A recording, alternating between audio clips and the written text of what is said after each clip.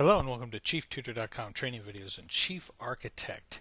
Uh, we're going to continue on with the electrical tools and here I have set up a simple kitchen. And uh, let's go ahead and take a look. And I don't have any electrical in it right now obviously. It's just a simple kitchen. Got a, just a range and sink dishwasher things like that. And I want to go ahead and make it as accurate as possible for my plan. So I want to give it an electrical layout.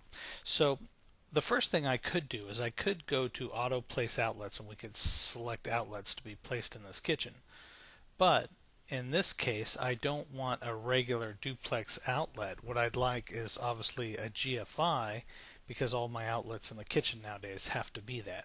So what I'm going to do is I'm going to go to the outlet, double click, get the electrical defaults, click on outlet, click on library, and then choose my GFCI as to be the standard for the outlet in this particular room. Again, I'm going to adjust it up 8 inches because I know for my backsplash, right? And now I'm all set and ready to generate my GFIs around. And it did a pretty good job as it did before. As you can see, it's surrounded and it goes within a certain distance on the wall, so it all works. And you'll also notice it added a light because it realized that this was the sink. So it always puts a light above the sink, which is another added feature for Chief. Nice little feature. Okay, so why don't we start tricking this out a bit? Now the first thing I want to do is get rid of all these GFIs that I don't need. Go ahead and delete this one, and that one, and that one.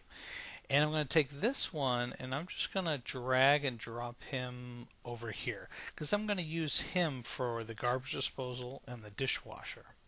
Now they're supposed to be on separate circuits, but in this case, uh, we'll just follow the rules. we'll follow my rules. Okay, so I'm going to go and I'm going to select now switch from the drop down menu because I want to add some switches. I'm going to add one, two switches here and I'm going to use one switch for the light and another switch for the garbage disposal. So the next thing I want to do is I want to connect them. So I'm going to use the connecting tool. And I'm going to start at the switch or the light source, doesn't matter which, and you just drag to each of them and it'll show a connection. And again, I'm going to drag and connect. And there we go. You can even click on it and there's a little handlebar so you can move it out of the way and readjust it. There's also many other ways to readjust this line because you'll notice these Polyline Advanced tools have popped up as well. But I'm pretty happy with that as we go. Now let's get to the lights. I'm going to go ahead and place some can lights, but before I do, why don't we go back to the electrical defaults, defaults and click on light ceilings, make sure, yep, that's good. I want a can light. Okay. So that's all set. I'm going to go ahead and put some lights in. One, two. Okay, now what I'm going to do is I'm going to select both of them by clicking on one, holding down shift and clicking on the other one. I'm going to use the copy tool and then the sticky mode. And I'm just going to drag, drag, and drop, grab, drag, and drop, and let go. Hit the space bar there. Now I got the proper lights that I want in the room. And let's see, why don't we put some pendant lights above the island because we got the wall or the ceiling pretty much covered. Why don't we get the island as well? Okay, so let's do that. I'm going to go to the search library, click on library search, type in pendants, hit enter, and there should be a whole selection of them. Let's see, blown glass pendant. That looks pretty good. Let's use that. I'm going to double click on that and I'm going to place one here and one there and hit the space bar. Okay, now what I'd like to do is I'd like to hook up switches and links for this one. So I'm going to go ahead and place a couple more switches here and here and I'm going to link them up. Connect electrical. I'm going to start here, click drag and drop, click drag and drop, you can see it just you hold down the left mouse, you go to the light source, let go. Click, drag, drop, click, drag, drop. And it's as easy as that. Again, I can select these and move them in a more appropriate manner so you can see them better. Something like that. Yeah. Maybe drag this one out a bit. Now what I want to do is select my pendants. So I'm going to click, hold down the left mouse button, find my electrical, let go. Click, drag and drop. There we go. Okay, so now my electrical is all set up. What I want to do is one last thing. I want to hit another switch, and I'm going to come over here and I'm going to put another switch, um, let's say right here. And I'm going to let this switch also control the light. So I'm going to create a three-way. So what I want you to do is I want you to notice what happens when I go and connect the lights that have already been connected to one switch. I'm going to complete the circuit. I'm going to go from this switch to this light. Now watch the switch symbol. Boom. It changed a little, put a little three-way there for you so you know it's a switch with three-way. Another great little thing Chief does, figures it all out by itself. Okay, now I'm pretty set and ready, pretty happy with my design. And if we take a look, we'll notice Chief placed everything in the appropriate place.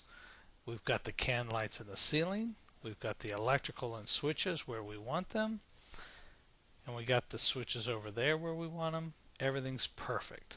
Okay, now why don't we make a schedule? Well, the great thing about Chief is it has schedules for everything. If you go to Tools, go down to Schedules, you can find one for electrical.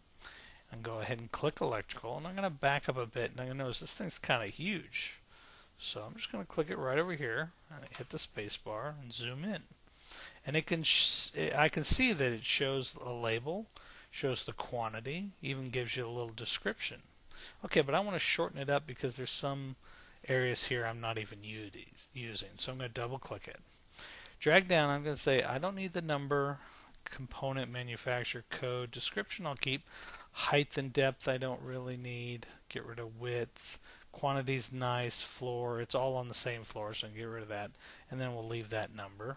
I'm going to go over to the attributes and I'm going to assign it like a blueprint font and then grab black, make it maybe a little bit lighter than black. Okay. Click OK, click OK, and there we go. I got a much more user-friendly schedule.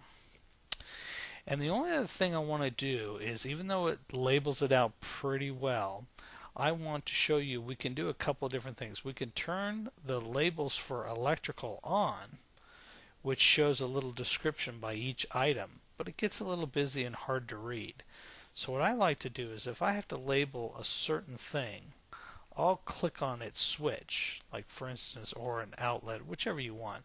I'm clicking on this switch, which goes to my GFI for my garbage disposal. In order to specify that correctly with the city, I'm going to jump into its component. This is the component name for that item. I'm going to select in here and I'm going to put in garbage disposal. Uh, that's it. Yeah, so it's single pole garbage disposal. Click OK. And the way I've done that now is it's applied the single pole to its own line item with its own designation of which we called it single pole garbage disposal. So now I can label each specific one like I can label these can lights to be LED can lights so it meets the code efficiency and things like that. That's usually the best way that I've found to kind of display the items that you need properly displayed. And so you can see pretty quickly that Chief Architect can take uh, your room and your design and not only make it look good in 3D, but also build a very reliable, very good scheduler and have everything linked up pretty quickly. So I hope you enjoyed this video and there'll be many more.